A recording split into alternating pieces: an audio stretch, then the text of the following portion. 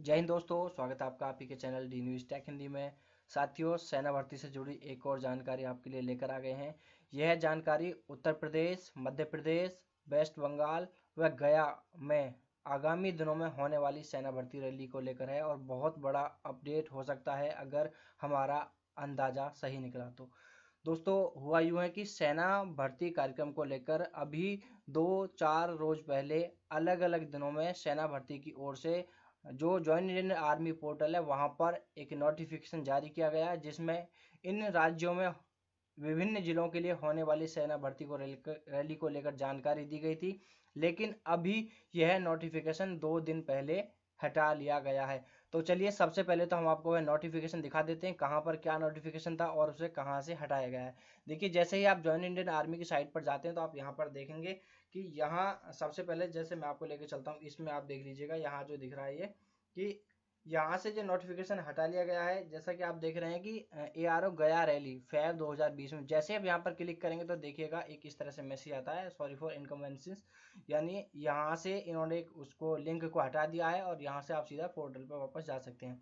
यह सिर्फ़ इसके साथ ही नहीं हो रहा। हम अब यहाँ पर देख लेते हैं कि, ये देखिएगा, अगर इसकी बात करते हैं तो ये जो सैनिक विद्यालय बीड़ में होने वाली भर्ती है, इसका नोटिफिकेशन आपको मिल जाएगा, देखने के लिए सारी जानकारी है। लेकिन इस नोटिफिकेशन को हटा दिया गया है। वहीं अगर आप यहाँ देखते हैं एआरओ जो लखनऊ, जहाँ पर तेरह जिलों की यूपी में सेना भर्ती होगी, उस नोटिफिकेशन को जब हम देखते हैं तो यह नोटिफिकेशन भी यहाँ से हटा लिया गया है। इसी तरह से आप देखेंगे कि यहाँ इस भर्ती का नोटिफिकेशन जो मध्य प्रदेश में होने वाली है और जीडीआरएम घूम में होने वाली इस भर्ती का नोटिफिकेशन को भी यहाँ से हटा लिया गया है। और बाकी आप देखेंगे सारे नोटिफिकेशन आपको सही मिल जाएँगे। तो क्या रीजन हो सकता है इस नोटिफिकेशन को हटाने का? चलिए हम आपको ले चलते हैं सीधे हमारे डी न्यूज़ हिंदी पोर्टल पर और वहाँ आप चलिए पूरी खबर आपको बताते हैं। उत्तर प्रदेश के फतेहपुर में 2 फरवरी से 13 जिलों के युवाओं के लिए होने वाली सेना भर्ती कार्यक्रम में होगा बदलाव। क्या ऐसा होगा? क्या जो नोटिफिकेशन हटाया गया है, वह इसलिए हटाया गया है कि कहीं भर्ती कार्यक्रम में कुछ बदलाव होगा? देखिए, सेना भर्ती का इंतज़ार कर रहे उत्तर प्रदेश के औरैया, बांदा, बाराबंकी, चित्रकूट, फतेहपुर, गोंडा, हमीरपुर, कन्नौज, कानपुर, देहात, कानपुर नगर, लखनऊ महोबा व उन्नाव ज़िले सहित एआरओ गया की ओर से होने वाली सेना भर्ती रैली में शामिल होने वाले युवा और मध्य प्रदेश के अनूपपुर व जीआरडी घूम में 12 से 13 फरवरी तक होने वाली सेना भर्ती रैली में भाग लेने वाले युवाओं की इन दिनों चिंता बढ़ गई है।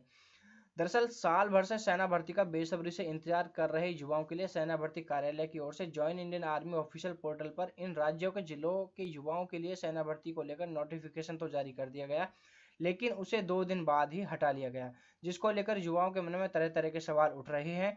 उत्तर प्रदेश की बात करें तो फतेहपुर में दो फरवरी से बीस फरवरी तक सेना भर्ती होने का नोटिफिकेशन जारी किया गया था, लेकिन अब इस पोर्टल से उक्त नोटिफिकेशन को हटा लिया गया है। ऐसे में युवाओं की चिंता बढ़ गई है। युवाओं को लग रहा है कि कहीं सेना भर्ती कार्यक्रम को आगे तो नहीं बढ़ा दिया गया है। ऐसी ही कई अन्य बातें युवाओं से सुनने को मिल रही हैं। हालाँकि युवाओं का यह भी कहना है कि भर्ती में शामिल होने के लिए ऑनलाइन आवेदन की प्रक्रिया शुरू हो गई है। बहरहाल, अभी तक सेना की ओर से इस नोटिफिकेशन को ज्वाइन इंडियन आर्मी पोर्टल पर अभी तक दोबारा अपडेट नहीं किया गया है। देखिए, जब आप वहाँ पर देख रहे हैं तो इस तरह का मैसेज आपको वहाँ देखने के लिए मिल रहा है। और क्या हो सकता है भर्ती से संबंधित, चलिए हम आगे भी आपको बता देते हैं। युवाओं की इस समस्या को लेकर जब डी न्यूज़ भारत के संवाददाता ने आर्मी ऑफिसर से संपर्क करके इस बारे में जानकारी चाहिए तो उनका कहना था कि अभी कुछ नहीं कह सकते हैं। उनका कहना था कि हो सकता है भर्ती कार्यक्रम में कोई बदलाव नहीं होकर किन्हीं तकनीकी कारण से भी सेना भर्ती का नोटिफिकेशन हट गया हो, क्योंकि तीन दिन पूर्व जारी किए गए इस नोटिफिकेशन में चार दिसंबर से ऑनलाइन आवेदन शुरू होना बताया गया है और अब दो दिन से यह नोटिफिकेशन पोर्टल पर खुल नहीं रहा है। तो ऐसे में कहीं ना कहीं इस ओर संकेत जाते हैं कि हो सकता है भर्ती कार्यक्रम में या तो कहीं कोई त्रुटि रह गई होगी या कहीं ना कुछ फेरबदल किया गया है, जिसे सुधार कर वापस नोटिफिकेशन को अपलोड किया जाएगा। हम युवाओं के लिए सेना भर्ती कार्यालय में लगातार संपर्क करने की कोशिश कर रहे हैं। जैसे ही हमें कोई अपडेट मिलेगा, हम आपको इससे अवगत ज़रूर करेंगे। अब आपको साथियों, जो दो दिन पहले जो नोटिफिकेशन जारी किया गया था, हम वो भी दिखा देते हैं, क्योंकि हमने उसको पहले ही डाउनलोड करके रखा हुआ था। ये देखिए, ये फतेहपुर की जो भर्ती होने वाली, उसको लेकर नोटिफिकेशन जारी किया गया था, जो अभी आप यहाँ पर देख रहे हैं साइट पर। जब आप इसको ओपन करते हैं ये लखनऊ वाले तो ये आपको नहीं खुलेगा। लेकिन हमने इसको यहाँ ओपन किया हुआ है और इसमें क्या क्या जानकारी दी हुई है, वो जानकारी आपको सारी लेनी है। तो आप इस खबर को हमारे पोर्टल पर पढ़ लीजिएगा, नीचे पूरी जानकारी दिए कब आपके एडमिट कार्ड जारी होंगे क्या क्या आपको ले जाना है, किस तरह से सारी भर्ती के बारे में पूरी जानकारी आपको इस खबर में मिल जाएगी।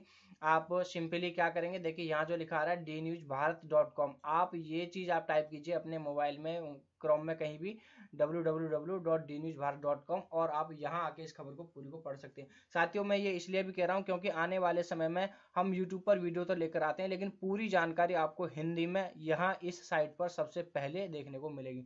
तो दोस्तों, आज के लिए इतना ही। फिर आपसे बहुत जल्द मुलाकात करेंगे इस भर्ती के अपडेट के साथ व किसी अन्य ताज़ा जानकारी के साथ में।